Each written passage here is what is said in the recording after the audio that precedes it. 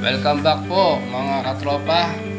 Ah, ngayon po ay papakita ko po sa inyo ang katatapos lang po namin projects na landscaping dito lang po sa Naik Cavite nung nakarang linggo.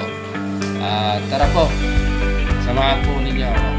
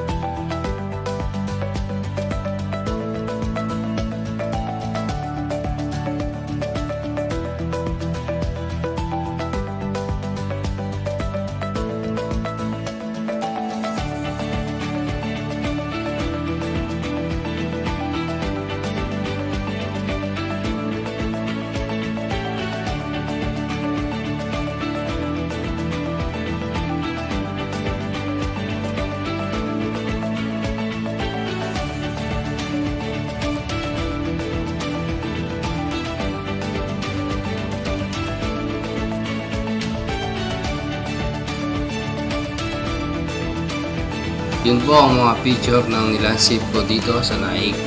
Sa mga gusto pong magpa-landscape, pa-estimate, kontakin niyo lang po ako sa Facebook or mag-comment na lang po kayo. At huwag niyo po kalimutang mag-like, mag-subscribe at i-click ang notification bell. Ah, maraming maraming salamat po. God bless po.